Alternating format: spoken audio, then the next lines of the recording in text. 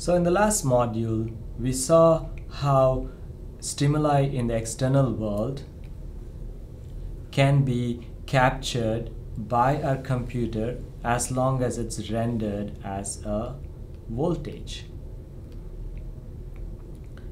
So in this module, we'll look at how your microcontroller does this job. That is, we'll look at the process of setting it up and then we'll look at the process of capturing the samples. So uh, on our microcontroller, which is our launch pad, we have several of the GPIO pins that play dual role. So what we mean by the dual role is we will choose their alternate function. So there are 12 pins which are called our 12 ADC pins which are capable of receiving analog inputs which are as rendered voltages and then converting them to them to 12-bit numbers using the ADC module on board. So among these 12 ADC pins, two pins are the ones we're going to focus in this course. One is PE2 and the other is PD3. This is referred to as analog in 1 and this is referred to as the analog in 4. By the way, we've already been using PD3 all along. This is our analog pin that was used to measure voltages. This was our way of measuring voltage on our circuit all along. But A in 1, which is what we're going to use today, is going to be used to measure voltages from an input device. So let's get started on looking at all the device registers that we have to manipulate to make ADC work. So like any device that we've looked at, in order to manipulate the device, we have to work with a initialization sequence. The initialization sequence is done once, or what we call as a setup sequence. And the setup sequence for ADC involves 13 steps. I'm gonna summarize the first few steps, the first one through uh, five steps are things that you already are familiar with, which are make sure that the GPIO pin here a GPIO pin for port E pin 2 is properly configured. So which means we turn on the clock we make it an input so we manipulate the direction register we enable its alternate function which is the most Im important thing which is different from what we were doing so far so we, we enable its alternate function and then we enable it den we enable it and once we are done with it we have an other one which is an am select function. We do that. So this is my five step sequence which is something that you're already familiar with so what is different to make it an analog ADC pin is the next sequence of steps. So our first step that's specific to ADC is we turn ADC clock. Like we turn on the clock here, we'll turn this one on. We do that by making sure that the RCGC0 bit 16 is set to 1. So the next step we're going to do which is step 7 is we're going to configure the speed. And this device the speed is the speed at which we're going to capture our samples. There are multiple speeds ranging from 1 million samples per second all the way to 125k samples per second. And we affect that we make that change by making sure that we manipulate these two bits and for now I'm gonna make these two bits 0 0 which says that I've chosen the 125k. So that's 125k samples per second, which is the minimum speed at which I can sample. The eighth step then is our sequencer. We have four sequencers, we're not going to worry about them. We're using sequencer 3. Sequencer 3 is chosen and we also set the priority of it. So because there are four sequencers, the priority is set by a 2-bit number here and we're making it the highest priority by making it 0 among the four. The step 9 is while, I, while I'm configuring the rest of the system, I'm gonna disable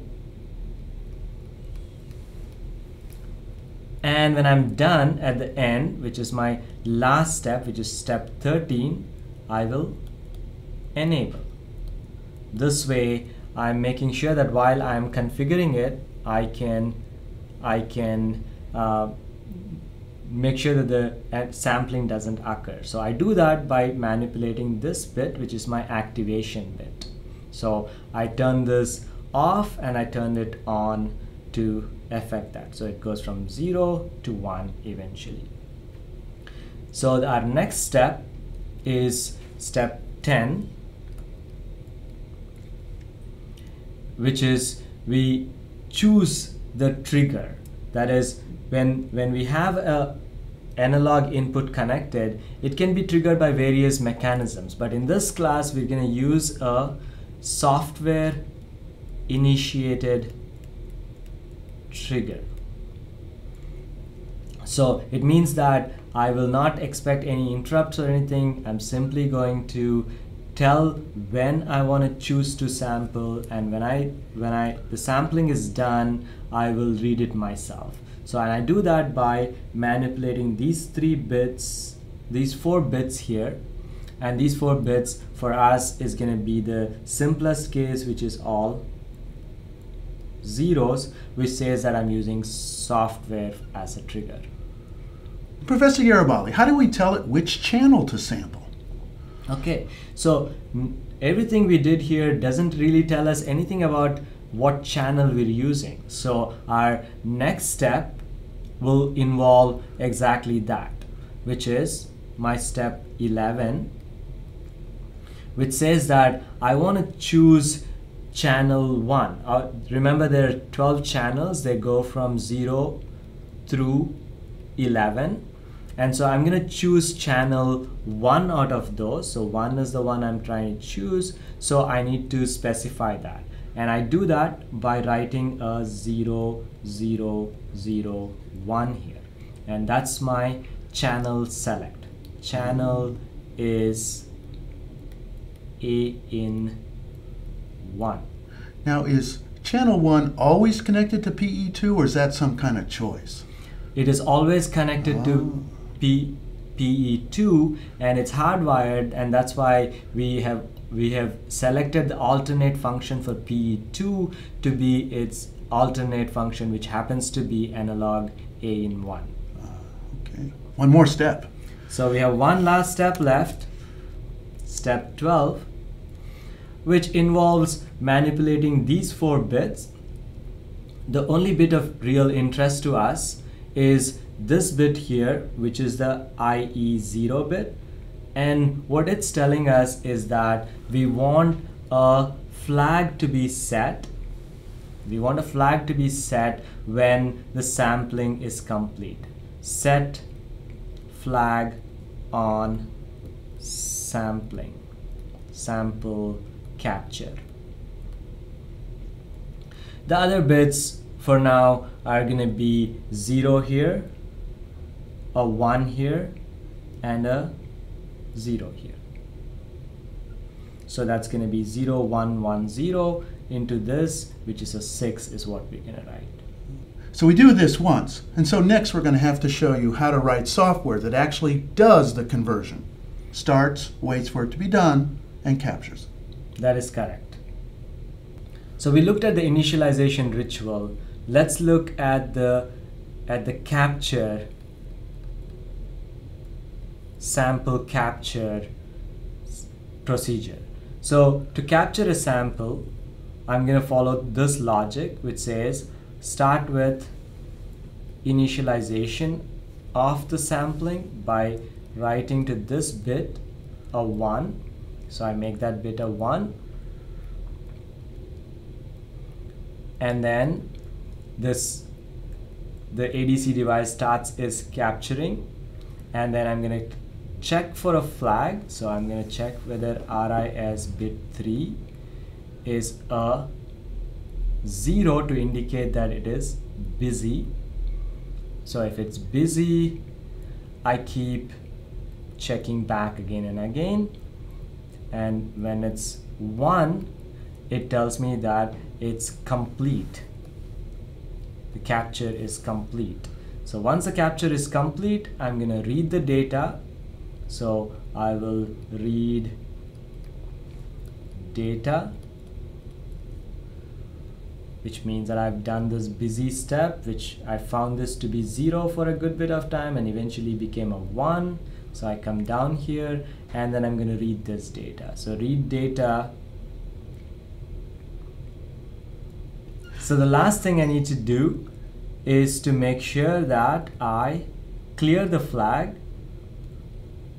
I clear this flag by writing a 1 here.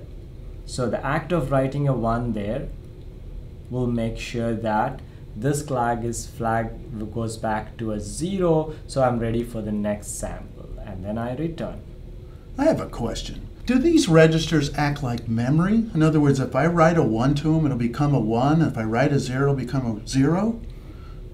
Well, these are really not memory registers. These are device registers. Oh. So it's they don't behave like memory. They behave more like inputs and outputs to a device. So if I write to one register, it clears a bit in another register? Yeah, because Ooh. it's a memory mapped I/O. Ah, I see. Cool. All right, enough talking. Let's build it. All right.